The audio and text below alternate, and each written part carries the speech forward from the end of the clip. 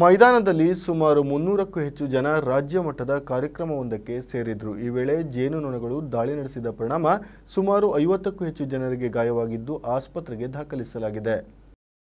ದಲಿತ ಸಂಘರ್ಷ ಸಮಿತಿ ರಾಜ್ಯ ಪದಾಧಿಕಾರಿಗಳ ಅಧ್ಯಯನ ಶಿಬಿರದಲ್ಲಿ ಹೆಜ್ಜೆನು ದಾಳಿ ಮಾಡಿ ಐವತ್ತಕ್ಕೂ ಹೆಚ್ಚು ಮಂದಿ ಅಸ್ವಸ್ಥಗೊಂಡ ಘಟನೆ ಮುಂಡಗೋಡ್ ತಾಲೂಕಿನ ಟಿಬೇಟ್ ಕ್ಯಾಂಪ್ನಲ್ಲಿ ನಡೆದಿದೆ.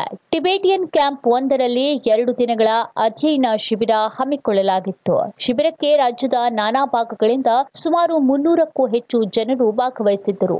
ಆದರೆ ಇದೇ ವೇಳೆ ಹೆಜ್ಜೆನು ದಾಳಿ ಮಾಡಿದ ಕಾರಣ ಮಹಿಳೆಯರು ಸೇರಿದಂತೆ ಐವತ್ತಕ್ಕೂ ಹೆಚ್ಚು ಜನರು ಗಾಯಗೊಂಡಿದ್ದಾರೆ. ಇನ್ನು ಘಟನೆಯಲ್ಲಿ ಅಸ್ವಸ್ಥಗೊಂಡವರನ್ನ ಒನ್ ಜೀರೋ ಏಟ್ ಆಂಬ್ಯುಲೆನ್ಸ್ ಮೂಲಕ ಮುಂಡಗೋಡ್ ಸರ್ಕಾರಿ ಆಸ್ಪತ್ರೆಗೆ ದಾಖಲು ಮಾಡಲಾಗಿದೆ. ಮುಂಡಗೋಡ್ ಪೊಲೀಸ್ ಠಾಣೆಯಲ್ಲಿ ಪ್ರಕರಣ ದಾಖಲಾಗಿದೆ.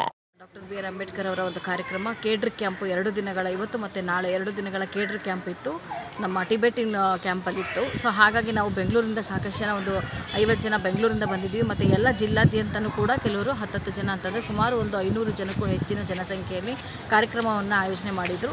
ಆ ಕಾರ್ಯಕ್ರಮ ಇನ್ನೇನು ಕೆಲವೇ ಗಂಟೆಗಳಲ್ಲಿ ಶುರುವಾಗಬೇಕು. ಎಲ್ರಿಗೂ ನೋಂದಣಿಯನ್ನು ಮಾಡ್ತಿದ್ರು. ತಮ್ಮ ಹೆಸರುಗಳನ್ನು ನೋಂದಾಯಿಸಿ ನಮ್ಮ ಆಫೀಸ್ ಕಚೇರಿಗೆ, ಮೀಟಿಂಗ್ ಹಾಲಿಗೆ ಬರಬೇಕಾಗಿತ್ತು.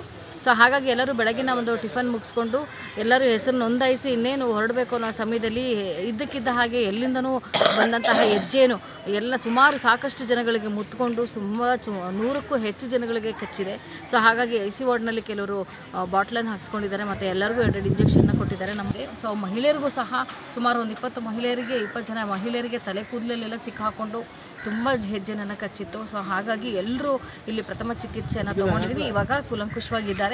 ಸಮಾಧಾನವಾಗಿ ಕೆಲವರು ಹೊರಗಡೆ ಬಂದರೆ ಇನ್ನು ಕೆಲವರು ಹಾಗೆ ರೆಸ್ಟ್ ತಗೊಳ್ತಾ ಇದ್ದಾರೆ. ಸೊ ಈ ಹೆಜ್ಜೆನು ಎಲ್ಲಿಂದ ಬಂತು? ಯಾರು ಇದಕ್ಕೆ ಕಲ್ಲೊಡ್ದಿಲ್ಲ ಮತ್ತು ಯಾರು ಇದಕ್ಕೆ ತೀಟೆ ಮಾಡಿಲ್ಲ ಯಾಕೆಂದರೆ ಸಾಕಷ್ಟು ಬಿಲ್ಡಿಂಗು ಮೇಲಿದೆ. ಯಾರು ಅದನ್ನು ಟಚ್ ಮಾಡೋಕ್ಕೂ ಕೂಡ ಆಗಲ್ಲ. ಅದು ಹೇಗೆ ಇದ್ದಕ್ಕಿದ್ದಂಗೆ ಈ ಬಿಸಿಲಿನ ಬೇಗೆಗೋ ಅಥವಾ ಇನ್ನೊಂದು ಮತ್ತೊಂದು ನಮಗೆ ಗೊತ್ತಿಲ್ಲ. ಸೊ ಇದ್ದಕ್ಕಿದ್ದಾಗೆ ಬಂದು ಎಲ್ಲರನ್ನೂ ಆವರಿಸಿ ಎಲ್ಲರ ಮೇಲೆ ದಾಳಿ ಮಾಡಿದೆ ಈ ಹೆಜ್ಜೆನು. ಸೊ ಹಾಗಾಗಿ ಬೆಂಗಳೂರಿಂದ ಬಂದಿರತಕ್ಕಂಥ ಅಷ್ಟು ಮಂದಿಗೂ ಕೂಡ ಗಾಯಗಳನ್ನು ಬಿಸ್ಮಿಯಾ ನ್ಯೂಸ್ ಕಾರವಾರ.